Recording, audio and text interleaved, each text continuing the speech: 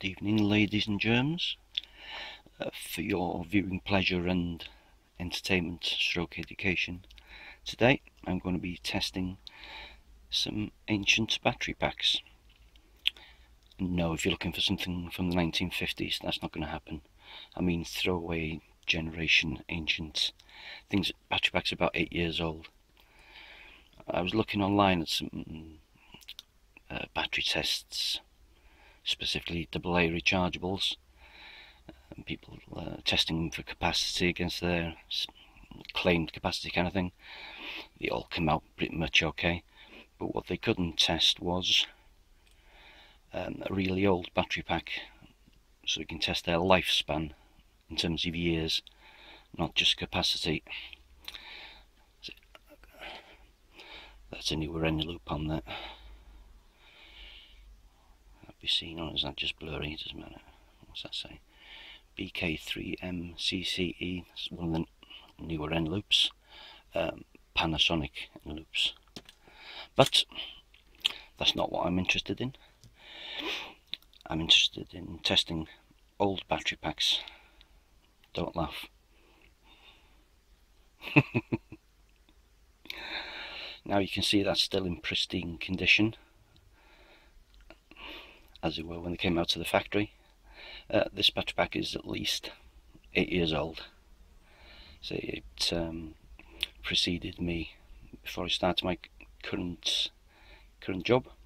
It was there when I started about 88 years ago, and it's probably a fair few years older than that. Can I spin that? I'm going to see who made that. What does it say there? I'm sure I've seen it said I'll take one out of the pack for in a minute if you can have a look at it. Okay, so that's an ancient battery pack and we're going to have a test on those. That's it. Do not put that down there for a second.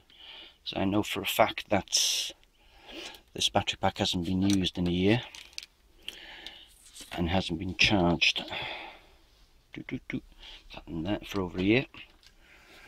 Let's see. 10.16 volts from 9.6 pack not too bad. Okay so what I'm going to do I'm going to test these and see how they uh, see how they perform considering the, considering their age. Uh, I say I've forgotten. I'll come back to that in a sec I was thinking when I was planning this video in my head, forget certain figure, what does it actually mean? Um, I was thinking I'd need to have something to compare it to. So, I've also got one of these. These are La Crosse batteries. Again, they're at least eight years old. And this one's used on a on a regular basis doesn't look as bad as this one because this one bears the scars of time and work a bit like me. So let's test that one. I know this has been charged about six months ago something like that. We use it to test LED strips test the colours that kind of thing. So compare a voltage and that that's 9.2 just a whole volt lower than the Eneloop pack. I say that's been recently charged and I've dug out a pack of these. Again they're at least eight years old. These are Vapex make. Um, 2700 these are just standard rechargeables. With the Eneloop is the low self discharge one. I think this La Crosse one. Maybe a standard one as well. So for testing I've borrowed one of these this uh, Technoline charger. Independently charges discharges each cell. So I'm going to test these in banks of four. And the whole cycle will probably take something like 9-10 hours to charge discharge and charge them up again. At least that'll give me some numbers to work off. Just bear with me so I've set up the charger there with the elevation control device behind it so you can see it. I don't know if I showed this up close, did I? Come on, focus now, thank you very much.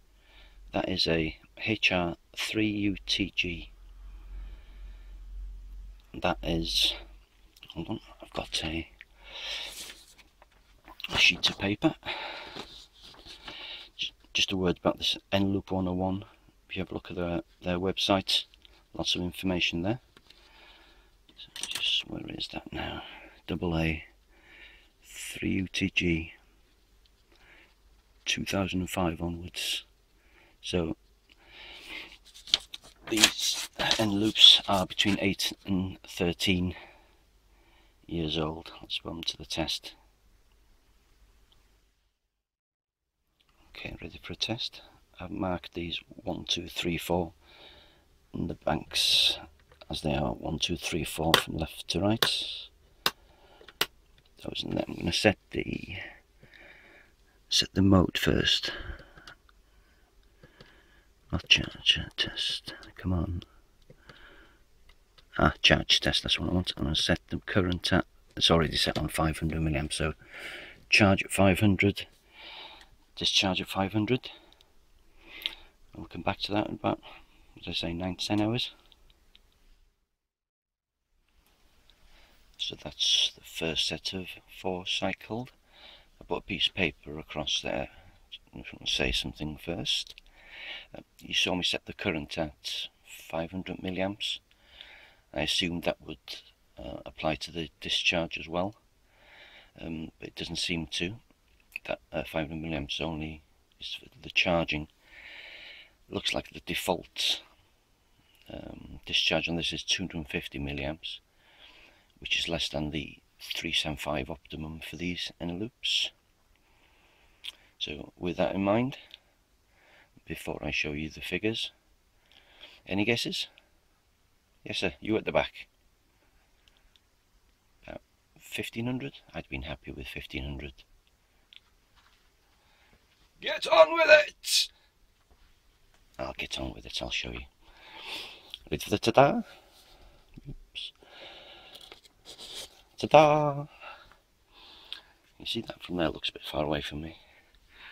Oh, showing full at the moment. There we go. 1822, 1817, 1865 and 18 something else. She's gone over to full again.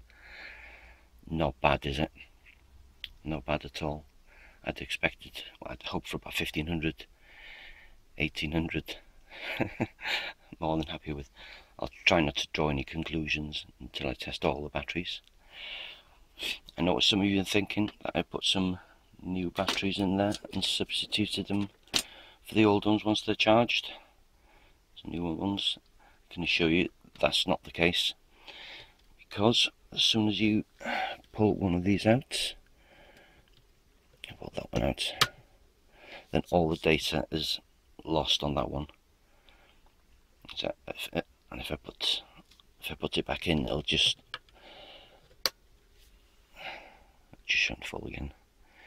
Will give me capacity on that one? No, it just says full. So, no trickery involved. This as they are. It's number four. Three. Number two. And number one. Exactly as they went in.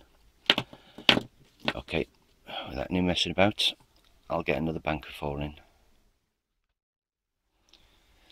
just a quick word about the next set of four I'm going to be putting in. I mean, these are even mankier than the other one. That's what happens when your boss uses brown flux jelly on everything when he's soldering. That's what they look like. Okay, let's do that one. Seven, eight, six, number five. Same as I did last time, hopefully. Okay, set the mode. Discharge, charge test, I think. Charge test, set the current, 7 too much. 500. There we go. Are we happy with that? Good. Back to in about 14 hours when they're done. That's the second set of four Eneloops done. And figures are about the same. It's like balance cells. They're all about 1800s. Um, right, so on to the next ones. I didn't notice until now, and it's the these La Crosse ones I'm going to charge. Two different sets in there. I've got 24s and 26s. Luckily, I got I've got four of four of each, so I'm going to put those in. Uh, there's one thing I wanted to say. These La Crosse ones in both sets. It looks like some fluid damage on the top of these. They haven't been sitting in a puddle or anything like that there. I think they've just leaked chemically both sets the same. These are 2400s as well. So wetness around the top of it. Uh, I'm going to test them anyway, see what happens. I'll just show you these. These are the same as they went in. Six and five. I need to take put these back in the pack. So I've got to go to work in half an hour. I'm going to be needing these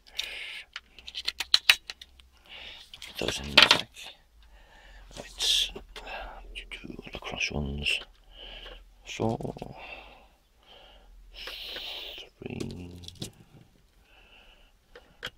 two, one. Okay, I'm going to go for the same parameters again. Oh, charge test? Where's my specs gone? Where's my head? This one. Can't find them. It's a bit dusty in that as well. Charge test on that. Can I say current? Damn, too late. Hold on. Plug out. Start again. Uh, mode. Charge. Oops, no, that one. Charge test. Current. 7500. Okay. Few hours at long last these finished cycling. I started these at 9 o'clock yesterday morning. I checked them at midnight and it was still going. It's now 9 o'clock this morning. Okay, so we're ready for the tests. Any guesses? To be honest, I expected these to fail and fail big time because of the physical or rather chemical condition or chemical damage of them. Ready for look? Can we see that? Oh, come back to full again. What do we have? 2240, 2230 and 2230 go back to full. What was the last one? 670. Okay, we'll have to qualify that as a fail. handy with these charge. I mean, those those three 2240 three of them more or less. That is an amazing result for something that's old and seems to be that damaged. But that one 670, I mean, that would be a fail if you put them in a pack of four. Um, planes uses four of those. If you're using the standalone batteries, that's amazing. Okay, so without any further mucking about, I'm going to get the other four in I'll report back in the 24 hours. This is a quick mid-discharge um, display for you. I realise I told you the discharge rate was, but didn't actually show it. Forgive the fingers and thumbs. Me see that there. I'll cycle through this display. That's showing current voltage. This one there is the only one that's currently still discharging. The rest have finished. So this voltage. Milliamp hours, nothing there to show because it hasn't finished yet. 3.46 hours, that must be the time of discharge. Uh, 255 milliamps, that's what it's currently discharging at. They all were the same. What's that? You want to see the rest? It's like kids at Christmas Eve. Okay, you can have one no more. Mm. Not sure what it's charging at at the moment. It's giving milliamp hours, 3 4 volts and again 1256 so my faith in the battery gods have been restored somewhat so that is worse than the um, well certainly three of the others one of them was a failure okay you'll have to wait till tomorrow then for the rest of them. Well, this is the last instalment for these. You saw that one last night 1256 and the other one came out and it's come back to full. 16 something? 16.15. yeah mm, okay. I'll remove the camera obscura again. Drum roll. It's Uh, like Pop Master. What was that 20 something two of them 28 and 29 had to happen eventually. Okay so that's why my La Crosse pack was low voltage in the Eneloop pack. This probably explains why when you put any load across it it quickly became a 7.2 volt pack because these two quickly collapsed what am I doing with my Vapex ones I'll find those oh bear with me and the next ones, or rather last ones, the eagle eyed would have seen these hiding, they were over there somewhere. Um, one of these, or at least two of these, looks like they come from landfill already. But I promise you they've had an easy life. So it's in charging at the moment, 500 milliamp. I'll keep this brief, this video is already about, probably going to be about 20 minutes long already, which is far too long. I'll come back to them when they're done. And finally, last test done. As you can see, not half bad. 2270, it's gone off again, 2230 I believe. 2220. Not bad at all, I class those as good, considering they, I thought they'd be just be fit for the skip. Okay, so that's that done.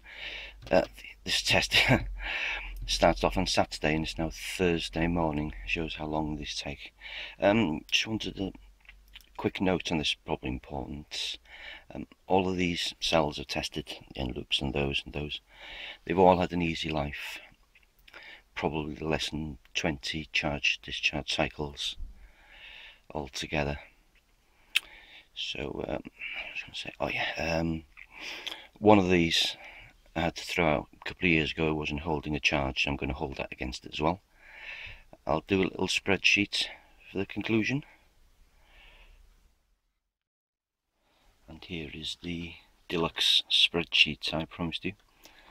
All the figures there from three tests, all the Eneloops, all 1800s. Just do this briefly.